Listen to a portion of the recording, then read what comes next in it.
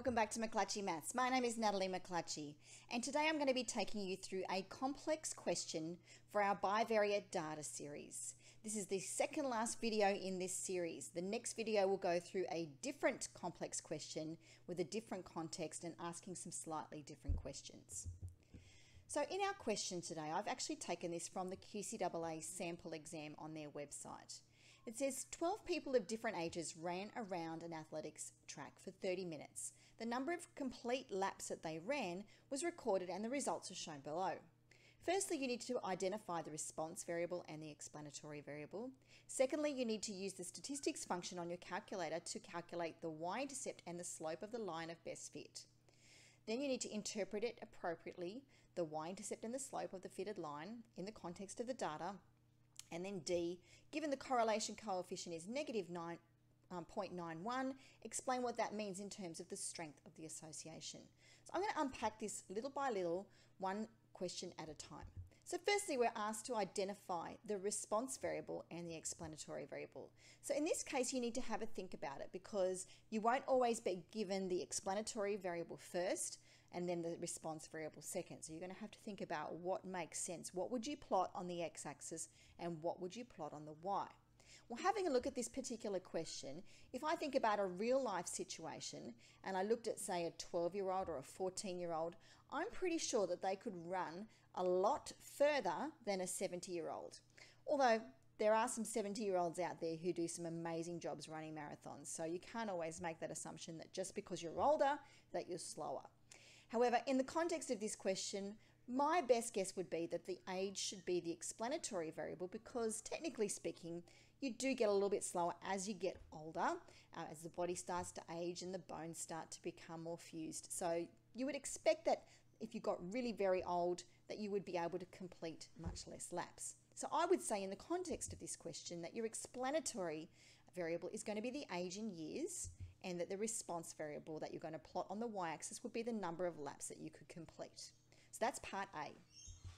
Part B, use the statistics functions on a calculator to calculate the y-intercept and the slope. So we're asked to find A and B.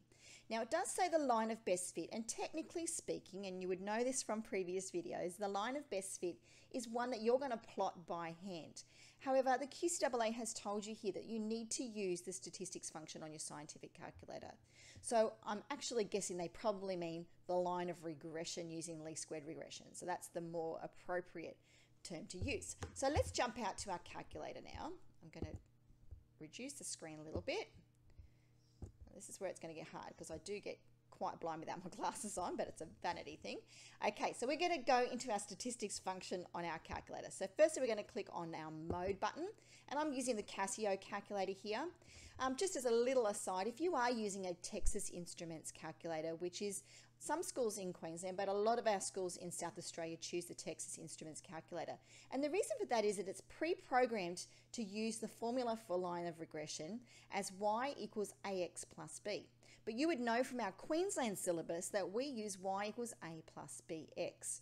So it's very important if you're using a Texas Instruments calculator that you are aware that you need to switch the a and b around if you're in Queensland. However, if you're in South Australia, you're using a different model for the equation of the line.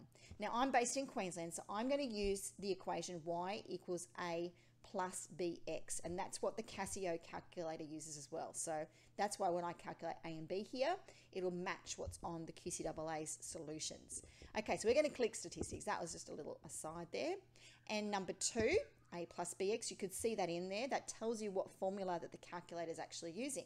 And now we're just going to simply enter the numbers. And you might want to fast forward this a little bit, but I would recommend that you're doing it on your calculator at the same time so that you get really practiced at actually using this function on your calculator and fast at it because you want to be able to do this very quickly during an exam and not take forever. Especially since some of these questions aren't worth heaps of marks, so you don't want to spend it fluffing around trying to work out what you need to do and where you need to be. Okay, so I've entered all my x values. I'm going to come across now and into the y values. And I'm very fortunate that I'm doing this on a computer because it means I just press the enter button and it automatically moves me straight down to the next one. But you can press the equals button and that will drop you to the next box as well. Now I've entered my values for x and my value for y. I'm going to press AC, which means all clear. And don't worry, it's still sitting in the background. If I press Shift and 1 now, that takes me to my statistics functions. Now I'm asked to find the value of the y-intercept and the slope. So I'm going to click on the 5, the reg button, and there it gives me A and B. So number 1 is the value for A. That's my intercept, 11.756273. I could probably round that to three or four decimal places depending on the context of the question. Clear that off again and I'm going to find the value for B now. So go back to 5 and choose not, um, option number 2 and I've got a gradient of negative 0.1434. Okay, now I've written that down in my next slide on the PowerPoint so we can move on to that. We can now state our values for A and B, our intercept and our slope. We weren't actually asked to find the equation of the line here, but I've brought that together for you to show you how that would look.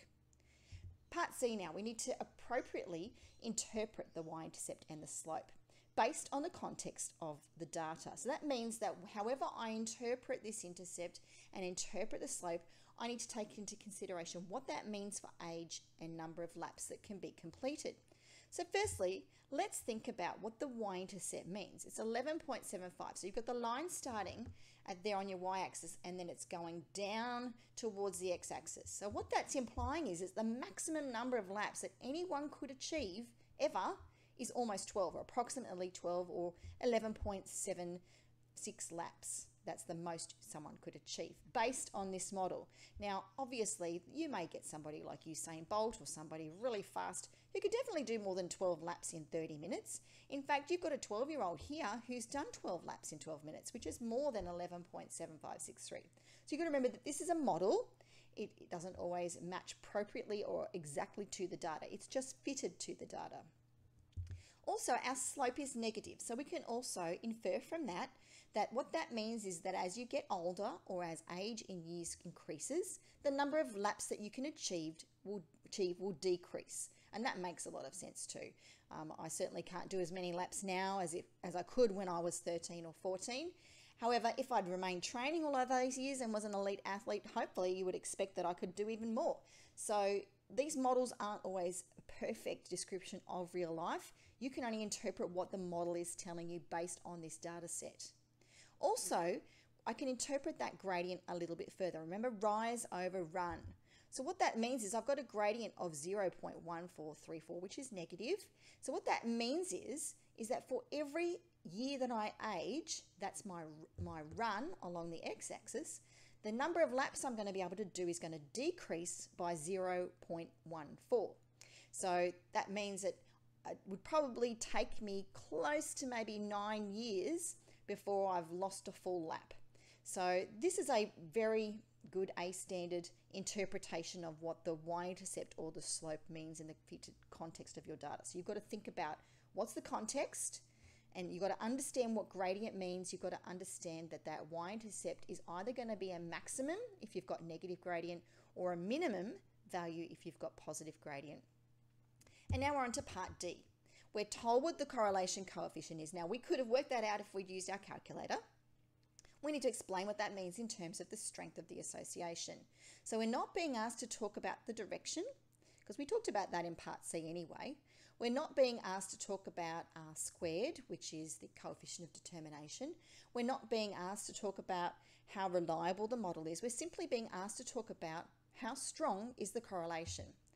So we can say that it's very strong. That's all that we need to do. Um, I would say the explanation could probably even be a little better. Mrs. McClatchey, what are you thinking? I could have written there something more that means that there is a very strong relationship between the number of laps and the aging years, which indicates that the model is fairly reliable for doing predictions of an interpolation nature.